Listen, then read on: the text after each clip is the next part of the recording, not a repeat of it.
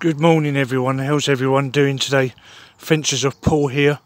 I'm shocked, I am bloody shocked. Anybody know what's going to be happening to the the herald snooker club?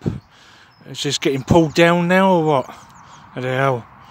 Used to go here snooker, used to play pool in here. Only a quick little video. Uh,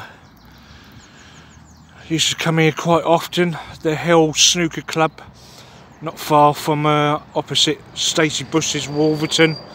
Anybody know what's going to be happening to the Herald Snooker Club? Leave comments down below.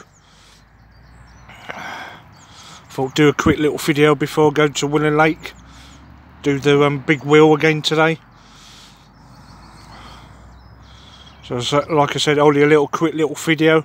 The Herald Snooker Club, Paul and Snooker leave comments down below what's going to be happening to this place.